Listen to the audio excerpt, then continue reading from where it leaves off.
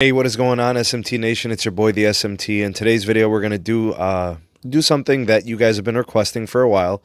I haven't done any type of like major vlogging or speed testing vlogs in a while, and everybody's been asking for a T-Mobile millimeter wave vlog or speed testing. So I went ahead and I did that for you guys with this video.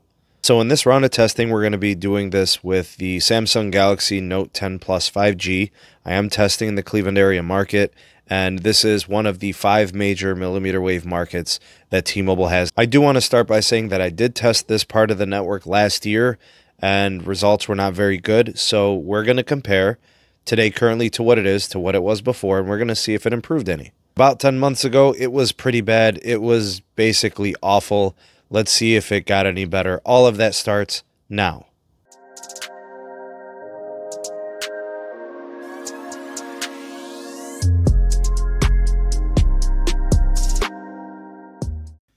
All right, so site number one is a, um, I would say a business district. Also, um, you know, there's a lot of bars, there's a lot of restaurants, there's an open market area with a lot of, you know, customers and, and ongoers, a lot of walkers, patrons on outdoor patios. I noticed that there's quite a bit of parking as well, so I know there's a lot of people there. It's a high traffic area, there's a lot of autos and stuff like that on the other side of the street. There's also that massive apartment complex, so that obviously is going to offer a lot of you know, network traffic. Anyways, the cell site itself is a rooftop based site. All T Mobile millimeter wave sites are actually uh, positioned this way. Um, let's say it's about 100 feet up or so. It's about, I'm about 500 feet away in line of sight from the location where the Note is positioned. I'm utilizing the Note 10 Plus 5G connecting to N260, which is 39 gigahertz frequency. And, uh, you know, T Mobile has, I believe, four channel, 100 megahertz uh, you know bandwidth of this uh, spectrum. Uh, this site is greatly improved compared to last year when I actually tested it. Uh, previously, I could hardly get connected to it. It was really unreliable and I couldn't hold the signal. So uh, that's obviously been, been fixed. Uh, it actually holds pretty good. It's not, you know, the greatest, but it, it, it's good in my in my experience. It, it got better, that's for sure. Uh, the best download speeds I saw at this particular site was uh, 1000 megabits per second, about a gig speed. I got some other downlink speeds of like 500, 400 megs. I did get like an 800 and 900 when I tested it. There were a couple of duds. There were a couple of tests where, you know, only got like 100 megs or 30 megs. Uh, but I mean, it was mixed results. The uplink uh, that I saw, the upload speeds was very average, quite pedestrian actually, but um, you know, it's just LTE, so not really much, uh, you know, surprise there. Uh, remember, N260 is non-standalone 5G technology, so it does, you know, rely on LTE as its core. But again, like I was saying, in my opinion, the site did improve dramatically, with the exception of a you know a couple of duds. When I ran the test a few times, I did get some really nice scores. I did get some really nice values. Uh, so I was happy to see that they actually fixed the problem. Because when I tested this last year, I mean, I think I got one test that actually you know, connected and ran, you know, the the NR. So I was happy to see that a lot of that connectivity issue was resolved, and I was happy to see that a lot of the issues were rectified and uh, mitigated. So good job by T-Mobile. Actually, I didn't think they were going to get back to these sites and do any upgrading, so I was happy to see this. And um, you know, as you could tell, here it is. I'm definitely in line of sight. It is there on that rooftop site over there by that apartment, and I was happy to see that it did get better. Now what I'm going to do on this next site is actually it's the same location essentially just on the other side of the building. So that's what I'm going to transition to. I'm just going to uh, test basically a different node in the same vicinity. So this is the opposite side of that rooftop site. This is cell site number two for this testing. The other side of the same roof, uh, pointed towards a hospital actually. Uh, here's a close-up of the hardware you guys will see. I'll try to zoom in here. That small little square uh, right smack dab in the middle of those other antennas those other antennas are probably mid-band antennas, so they're probably, you know, something like PCS or AWS, so band 2, band 4, band 66. Um, you know, the smaller antennas are what, what are used for higher frequency spectrum, just like what we have here with the N260 uh, with the 39 gigahertz. So they use these smaller antennas. Um, you can usually notice it, you know, the, the differences in the sizes. Anyways, distance wise, I was probably just a couple of hundred feet away. I was in line of sight to the, uh, the node, and it is about a 100 feet up. Um, similar performance to the other site that I just tested. seven, 800 megabits per second. Uh, there were a couple of duds here as well. The latency was good for the most part. I mean, in terms of LTE standards, but again, it's not real 5G. It really is NSA non-standalone, so it utilizes LTE for its core operations. So our expectations should be tempered. But again, in my opinion, you know, when I look at you know a benchmark of last year's testing, it was really bad, and I I had trouble connecting to this site as well. So it looks like they fixed whatever configurations, whatever optimizations had to be made. When I tested it about nine or 10 months ago, these sites were really hard to connect to. I couldn't really hold the signal, and when I did, the speeds were really bad. So it looks like they fixed a lot of that. And in my opinion, like I said, these are good. These are good speeds. 800 megabits on the downlink is fine. Uh, it's not as fast and reliable as Verizon's. Verizon's got a lot more invested into their millimeter wave at this point. It's been more of a focus of their network operations for now. And uh, T Mobile's kind of put this on the back burner for the most part. But it looks like they have come back to these sites and done some upgrading because it was not this good before, which I'm happy to report and I'm glad to see it. Now, you'll see here in this test, you know, it's only getting like 30 megabits per second and it is connected to 5GNR. So, you know, like I said, I don't know what the cause is. I don't know if there's interference. I don't know if there's, you know, the positioning of the the antennas itself. I don't know. Um, it could be a number of factors going on here. Um, so there still are some really crappy speed tests, but uh, things that improve at site number two. All right, now here's cell site number three. This is in downtown CLE. This is actually at Progressive Field, where the baseball games are played by the Cleveland professional team. Uh, it's a high volume area. There's many bars, tons of baseball fans walking around, uh, walkers. There's a lot of traffic from autos, etc. I'm about 500 feet away from the site, and I would say it's also about 100 feet up. So what we're noticing is a trend that all of these seem to be on rooftop sites. I did not, I don't know of any T-Mobile millimeter wave sites that are on anything but rooftops. So uh, downlink speeds, I was seeing like 600 megs uh, on the downlink. Uplink was like in the high teens. So pretty similar to what I saw with the other testing. It's all right, you know. It's it's not it's not great. You know, the uplink speed, of course, we like to see it a little bit higher. You know, it's something that wireless providers are struggling with. You know, uh, some other tests I got, you know, like 150 megabits per second. Uh, this this site is actually probably more challenging because of the buildings in the area.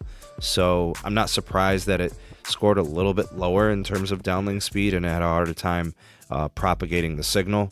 And uh, one of the things I noticed when I compare this technology and what T-Mobile's doing, it's very different than what Verizon, you know, shows. Verizon, you don't even have to be in line of sight and you'll get some pretty incredible speeds. And that's because of the investment into the technologies they have in like beamforming and range extenders with repeater technology. Uh, T-Mobile simply just doesn't have that yet. Uh, do they decide to use it in the future? Uh, they should. Uh, they probably will. I mean, we'll see in the future. But um, you know, this it's good to see that things have improved. Uh, this site actually turned out pretty nice. All right, now let's transition over to cell site number four. I'm at the Cleveland State University athletics field.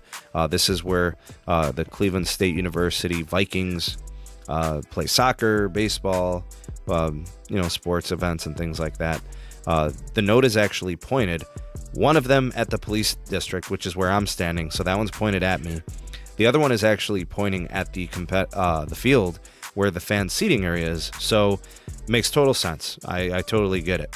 Downlink here when I started the test. This actually was the first test that delivered uh, similar performance to what Verizon uh, and AT&T are getting for their millimeter wave. So uh, this was the first site where I got very steady 1 plus gigabit speed when it came to the downlink. So I was really happy to finally kind of get that on a consistent level. Uh, the uplink actually was, you know, kind of like in the high teens, so that didn't really change. That was pretty consistent throughout all of my testing. The latency, you know, in the teens. Um, also, um, I, I, saw like you know 18 milliseconds, 17 milliseconds, pretty much throughout. Uh, probably the best configured site that I tested in all my rounds of testing on this day. So I don't know if it's the newest site. I don't know if it's just had the most optimization or, you know, whichever engineering team did it. I think they just did a really good job. I was happy to see that. Um, it was really nice, you know, and, and you could tell that based on its positioning and based on the configuration. However, they did it, this is actually going to help people. Like, this is going to be useful. Like, people sitting in the stands, people at the university that are outside and walking, if they connect to this, it's going to be a nice experience. They'll probably say, wow, this is, wow, my phone's flying right now, right? They could download an app. Uh, they could send or receive a file very quickly. You know, well, you know that's that's one of the things that we've kind of been wanting is we wanted to see this transcendental uh, change to 5G networking. So yeah, this one was pretty good, and I was very happy to see this one. All right, let's go ahead and do the final test site. So this one, cell site number five, kind of a strange placement. I picked this one only because it was kind of at the end of my circle, my route. Uh, it's actually kind of off CSU campus. So the other one was smack dab right in the middle. This one's kind of off by a few blocks. Uh, the the one node was pointing towards the interstate. Another node was kind of towards some neighborhoods. Uh, this site highlights the line of sight requirement for T-Mobile's millimeter wave. It's really, really sensitive. It's very, very directional. If you are not in line of sight of T-Mobile's 5G millimeter wave, it's not very good. Uh, another rooftop site here in this example. Uh, again, like I said, if you're not in line of sight, you're not going to get good performance. And this was on display here with this test. In terms of the downlink, I got a lot of duds in this testing. Mostly single digits on the worst ones. The uplink was pretty good actually. It was in the 20, uh, 20 megabit per second range. I lost 5G signal actually, and I could not get it back. I did get it back, I think, later, but it was kind of slow. Uh, anyways, what I've kind of noticed in all of my testing was my phone was actually starting to get hot at this point from the testing.